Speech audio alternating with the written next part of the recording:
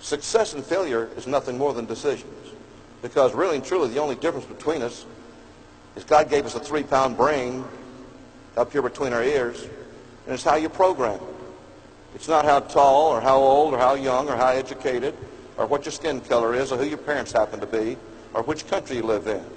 It's how you employ the powers that you already have available for your use by making the right decisions, by going in the right direction with the power and authority that you have in life. The foundation of all success is failure. You show me someone that doesn't do their best and even learn from their failures, and I show you a guy that never succeed. And too many people play life so safe, they won't take an opportunity or chance. They let those little decisions be wrong rather than right ones by not doing the right thing based on who you are and where you are and what you're doing. Because see, if you don't start at the bottom of the rung, how in the world can you climb the ladder? That's why so many college graduates fail today because they try to start in the middle of the ladder and never go down the bottom and start and learn the basics about it. In the Amway business, thank God, you start with one kit at the very bottom of the bottom of the bottom of the ladder. And if you climb, it's going to be because you've got the guts, the dreams, the desire, and the ambition, and no one can steal your cotton picking dream because it's real for you.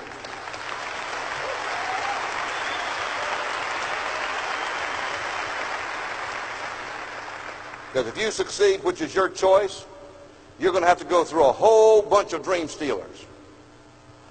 Whole bunch of people that try to minimize you and criticize your enterprise. Do anything to steal your dream from you, to make you feel silly because you're not one of them. And that's the way you know you're succeeding.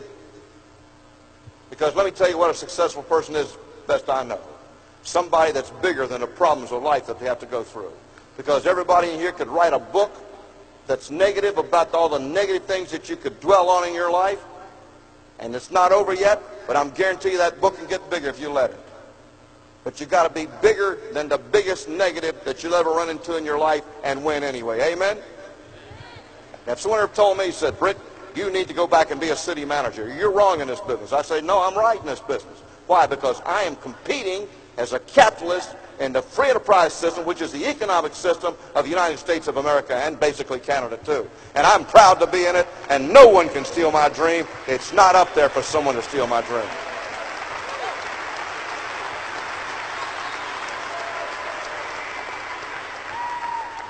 But you see, you've got to make the right decisions. The little decisions are big ones. Freedom is empowerment. Empowerment to take on the responsibility that you have. Now, if you want a job, be my guest. If you want to be free, be my guest. We're here because we believe you want to be free.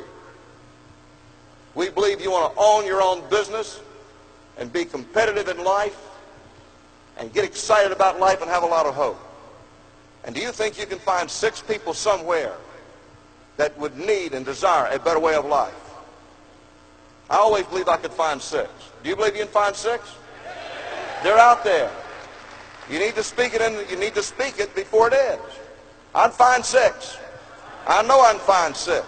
I'm snared by the word, hung by the tongue. I will find six. I will be free. I will pay the price of freedom. I will not be denied. And if somebody don't like it, take a cotton pick and fly and leave.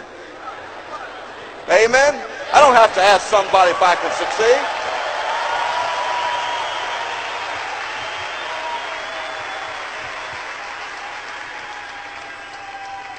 If you're going to win, you don't win and then act like a winner. You act like a winner and then win. Amen?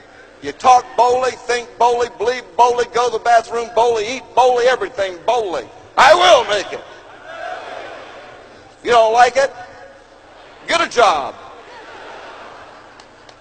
Somebody don't like it? Hide in the bushes and watch. I've got a right and I've got a responsibility to be free and to live a free life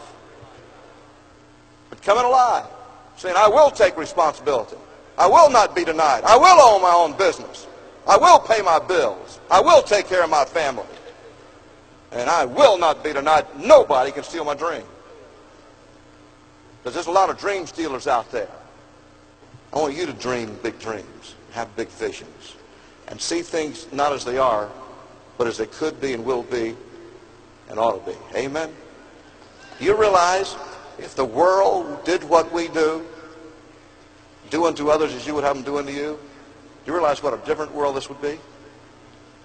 And how we're going to get freedom back and take our country back is one person and then one couple or one person at a time. Amen? You and I have to take on our responsibility. And if we're going to kick butt, the first butt we got to kick is our own. Amen?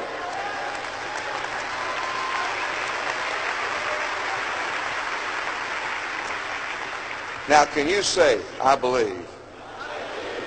I really do believe. I really am excited because I have hope for the future. We can honestly tell you we love you. And we want you to be successful. We want you to have the, this joy of the success that's rightfully due. We should not to be denied. Amen? We want you to have the joy of overcoming your problems, overcoming the negative, and getting into the, into the positive.